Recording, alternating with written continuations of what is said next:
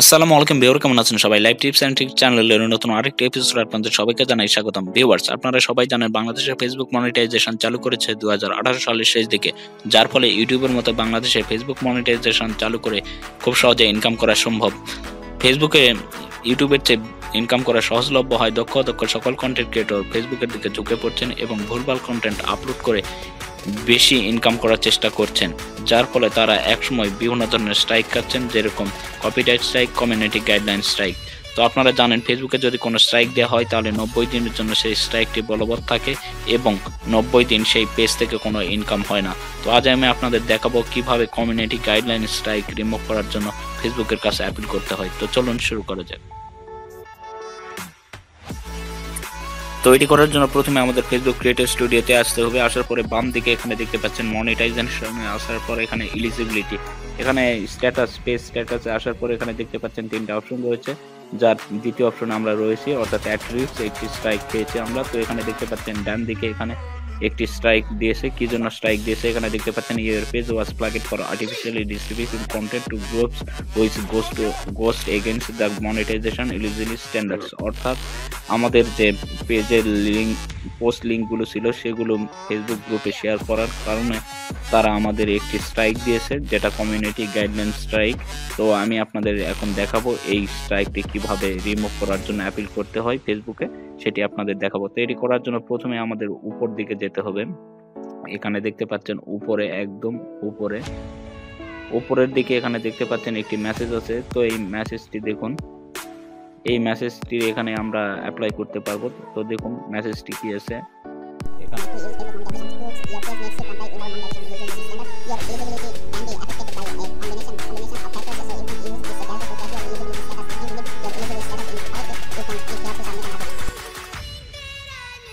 অর্থাৎ আপনি যদি মনে করেন যে ফেসবুক ভুল করে আপনাকে একটি স্ট্রাইক দিয়েছে, তাহলে আপনি সেই স্ট্রাইকের বিরুদ্ধে আপিল করতে পারেন এখান থেকে। তো এখানে দেখতে পাচ্ছেন নিচের দিকে click here to submit and appeal এখানে ক্লিক করবেন।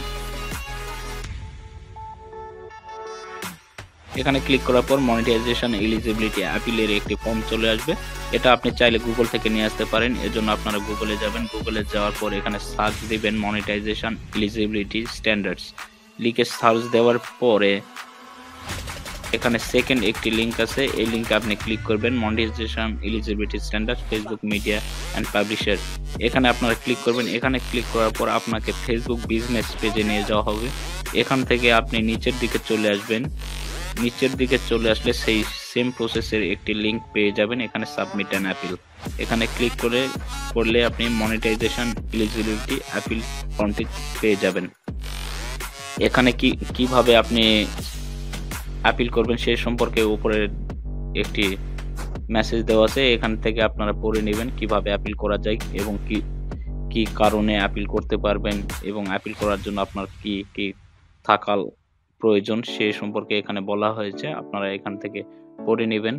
তারপরে আপনি কি কি বিষয়ের উপর আপিল করতে পারবেন এখানে দেখতে পাচ্ছেন এখানে ক্রিয়েটর এবং কন্টেন্ট অর্থাৎ আপনি যদি ক্রিয়েটর হয়ে থাকেন, আপনার পেজটি যদি ইলিজিবল না থাকে, তাহলে আপনি ক্রিয়েটর সিলেক্ট করে আপনি অ্যাপিল করতে পারেন।